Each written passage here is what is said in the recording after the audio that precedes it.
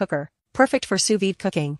It has 4 button with LED screen, strong holding clip, and maximum and minimum water fill line. Easy to operate, clip the machine and plug it, connect it with your Wi-Fi, and then click on the play button. You can change its temperature and time manually by buttons or change it with its app.